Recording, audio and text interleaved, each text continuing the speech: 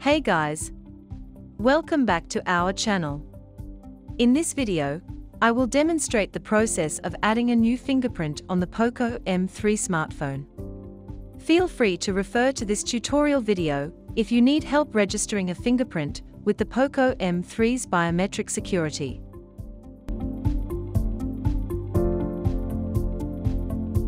Like any other modern smartphones, the POCO M3 is also preloaded with Xiaomi's very own advanced security features including AI Face Unlock and fingerprint security.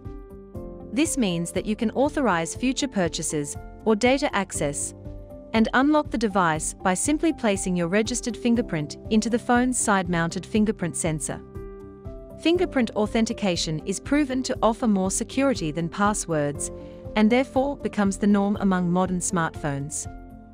In order to use the biometric fingerprint or fingerprint recognition on your phone, you will need to register your fingerprint beforehand. Should you need some input on how to get this done on the POCO M3 handset, then all you have to do is refer to this quick tutorial video.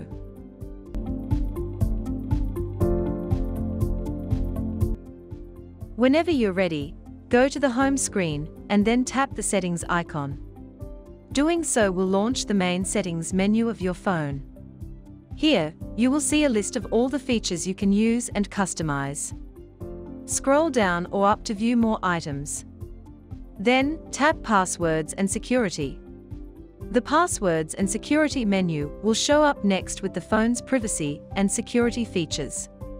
To register or add a fingerprint, Tap to enable the fingerprint unlock icon. If prompted, enter your screen lock pattern or password to continue. The fingerprint registration and setup wizard will launch after you input the correct unlock pattern or password. This wizard contains on-screen instructions to guide in the fingerprint registration process. Just follow the on-screen instructions to add your fingerprint. Be sure to place your finger on the sensor and lift when you feel a vibration. You will also see the fingerprint registration status preview. Continue following the on-screen prompts until the fingerprint registration is complete. When everything is done, you will see the added successfully message. On the same screen, you can enter a fingerprint name into the provided text field. Otherwise, keep the original label and then tap Done. The newly registered fingerprint will then appear beneath the fingerprint section. To add another fingerprint, just tap Add Fingerprint and then follow the on-screen instructions to register your new fingerprint. You can also set the recognition method according to your own preference. Simply tap on Fingerprint Recognition Method and then choose between touch and press. You can also specify how to use your registered fingerprint for. Simply toggle the switch to set it as privacy password app lock or fingerprint payments.